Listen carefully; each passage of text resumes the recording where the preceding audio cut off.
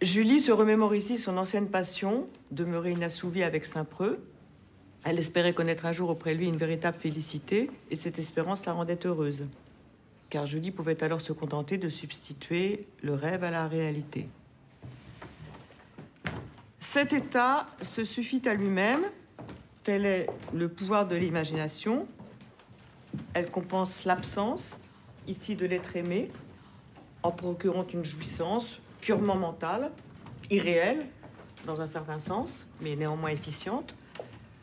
Pour les personnes très imaginatives, tel est le cas Julie, mais aussi sans doute de Rousseau lui-même, les satisfactions fantasmatiques constituent un véritable réconfort qui supplée, qui remplace donc le plaisir charnel.